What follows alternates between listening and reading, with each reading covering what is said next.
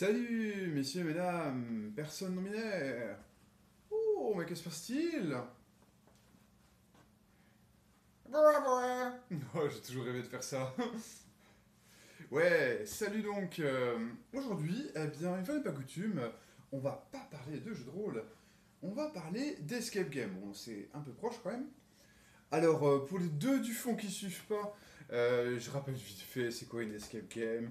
Euh, Grosso modo, une escape game, ça a commencé euh, comme des événements, des jeux grandeur nature.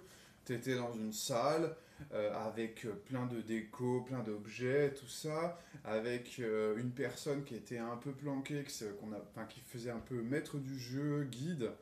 Et donc, généralement, tu avais une heure pour trouver la sortie de la salle. Et donc, il fallait résoudre des casse-têtes, des énigmes, des puzzles, ouvrir des cadenas, tout ça pour y, pour y arriver. Euh, Aujourd'hui, on va aussi appeler Escape Game en fait quelque chose qui s'est popularisé avec euh, des jeux comme Unlock. Donc voilà, je t'ai amené euh, le Unlock Star Wars, donc où en fait tu vas retrouver la même expérience mais sous format jeu de cartes avec avec ou sans appli pour t'aider quoi. Donc du coup on va on va un peu ah, tu vas juste tu vas juste poser les cartes sur une table et tout puis ça fait l'escape game et tout. Et bah aujourd'hui, on va voir comment euh, nous, on peut essayer de concevoir une escape game euh, avec euh, quasiment zéro budget, voilà, à la maison. Alors tu vas me dire, ouais, pourquoi, pourquoi s'embêter alors qu'il y a plein de salles et qu'il y a également plein de boîtes euh, de, jeux de cartes euh, type Lock, euh, Exit, enfin, des connais pas toutes les marques. Euh, eh bien, euh, pourquoi? Bah, Juste pour euh, le plaisir de faire les choses soi-même.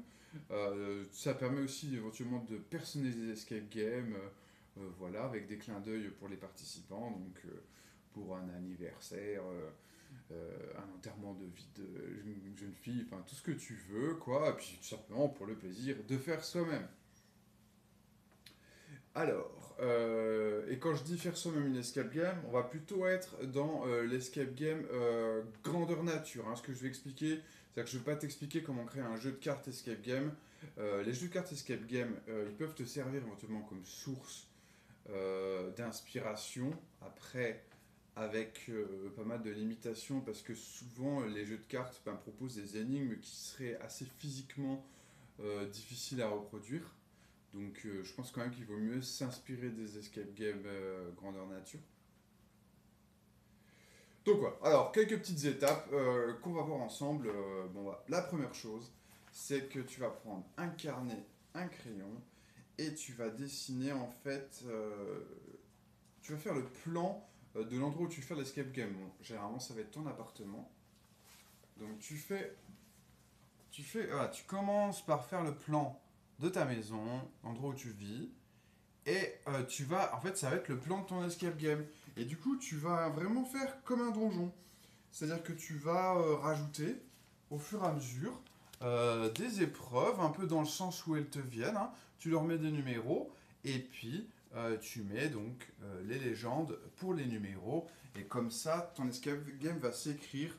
L'avantage de cette approche, euh, avec un plan sur lequel tu vas rajouter des numéros que tu vas légender, c'est que tu peux faire un peu, tu peux l'écrire un petit peu dans n'importe quel sens. T'es obligé de l'écrire du début jusqu'à la fin, quoi. Donc, d'abord, il faut que tu définisses, je dirais, l'objectif euh, de ton escape. Alors moi, j'ai mis euh, à la recherche des pièces volées, donc il y avait des petites pièces euh, en chocolat à trouver. Hein. T'as compris que c'était pour, pour des enfants.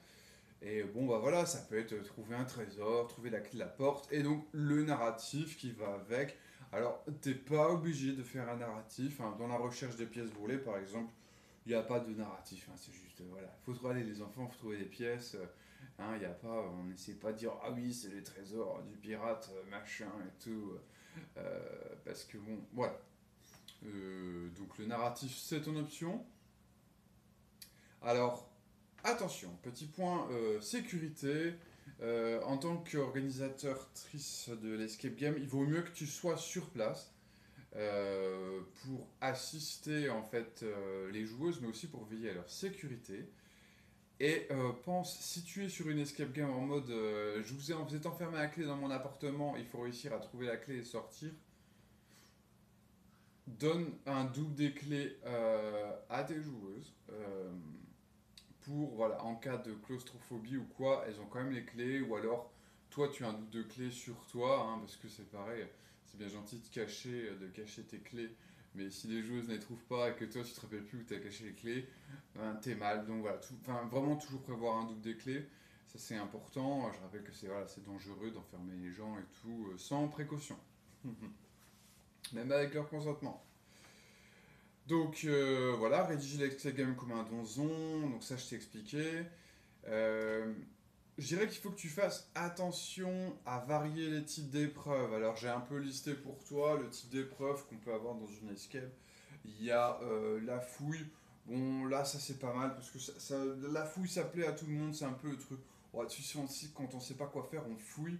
Après évidemment si tu joues dans ton appartement, il va falloir que tu délimites euh, les zones de fouille éventuellement, mets de la rubalise euh, ou quelque chose sur les parties de ton appartement que tu veux pas que les gens fouillent. Euh, donc tu peux mettre euh, bah des énigmes. Euh, Alors je l'ai pas sur moi, mais par exemple tu peux, tu, tu peux trouver des livres d'énigmes, des cartes énigmes, enfin des, énigmes sur internet, en veux-tu, en voilà. Enfin il n'y a pas de souci pour trouver des énigmes. Euh, tu peux mettre des codes à craquer. Euh, bon bah typiquement ça peut être avec euh, euh, ça peut être euh, avec des cadenas, hein, si tu as des cadenas, euh, ou sinon ça peut être si tu es présent en tant que MJ, peut être juste, euh, voilà, il faut que les, joueuses arrivent à trouver le code et elles te disent verbalement le code et tu dis si c'est bon ou pas. Euh, tu peux prévoir voilà, tout ce qui est casse-tête, éventuellement, si tu as des casse-têtes à la maison, euh, j'ai mis un, un Rubik's Cube là, eh ben, intègre-le, euh, tu peux l'intégrer euh, tout à fait à ton escape. Tu peux prévoir aussi du roleplay, c'est-à-dire toi qui joues un PNJ, et il faut un petit peu interroger donc, le PNJ pour avoir des indices. Euh, voilà, et ne faut pas hésiter à varier. euh, Oh là là, c'est fou ça. Donc j'avais un truc qui était vachement bien. Et on fait une petite pause, parce que mon fils il a fait un truc qui est vachement bien. Et ce serait vraiment dommage que je te le montre pas.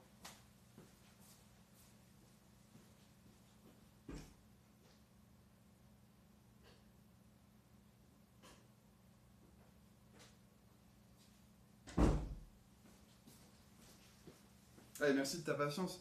En fait, voilà, ça c'est pour. euh, dans le genre, on varie un peu le type euh, d'énigme. Voilà, là mon fils il a fait la. En fait, c'est la reproduction euh, de la table de notre cuisine, donc il a fait en Lego. Bon, c'est moi qui ai eu l'idée en premier hein, de faire une reproduction. J'avais fait la reproduction de la salle de bain en Lego. Lui, il a fait la table de la cuisine. Et hop, si tu regardes bien, là il y a une pièce ici. C'est un peu bizarre. Pour qu'il y ait un point rouge, en fait, du coup, il faut penser à regarder sur la table de la, de la cuisine en vrai. Et là, on se rend compte qu'il y y a un indice. Partie des petites choses. Euh, sinon, bah, pour le matériel, vraiment, pour te montrer qu'il faut vraiment pas hésiter à, à récupérer. Bon, euh, voilà, quand tu as des enfants, par exemple, euh, là, c'est un petit, un petit jeu qu'il a. Et tu vois, il y a plein de petits. comment De petites lettres de petits chiffres euh, aimantés. Donc ça, on peut les disséminer éventuellement euh, dans la pièce et en fouillant, bah, si on trouve les quatre chiffres, on va peut-être avoir accès au code.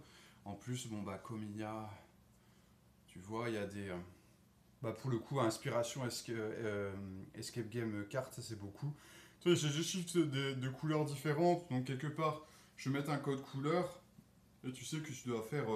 euh, rouge, jaune, vert, bleu, et donc tu vas trouver le chiffre rouge, jaune, vert, bleu, tu vas trouver le code comme ça, quoi. Dans le bon ordre.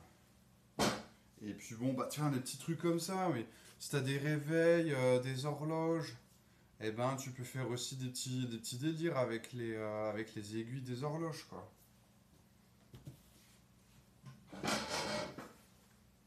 Donc, essaye vraiment de, de réfléchir ce que tu as en fait. Si t'as pas d'idée, je crois qu'il enfin, il faut pas partir de je veux tel genre d'énigme, mais plutôt partir de ce que tu as dans ta maison. Tu vas un peu regarder ce que tu as dans ta maison, et à partir de ce que tu as dans ta maison, le type d'épreuve va émerger, je dirais, assez naturellement. Euh, donc euh, voilà. Et euh, bon voilà, au besoin, tu peux faire un petit peu d'achat. Bah, tu vois, ben, peut-être des choses que je t'ai mentionnées comme ça qui te, qui te font un peu envie. Euh, donc, euh, mais voilà, casse pas trop ta tirelire, quoi, peut-être. euh. Et puis, tiens, sinon, juste pour finir, j'ai donc retrouvé une vieille boîte de Cluedo. J'ai mis sur la pour la déco la vidéo pour l'ambiance, mais c'est vraiment bonnard. Tu vois, regarde, il y a tous les suspects et voilà tous avec leur arme du crime. Oui, oui, j'ai toujours mon chandelier sous la main et tout. Tu vois, là, la mamie avec sa, sa clé à molette. Tac, le colonel Moutarde là, avec son gun. c'est c'est trop marrant. Voilà, et bien sur ce, je te fais des grands bisous. Et puis on se retrouve à la prochaine pour un sujet sans doute plus rôliste. Allez, ciao, prends soin de toi.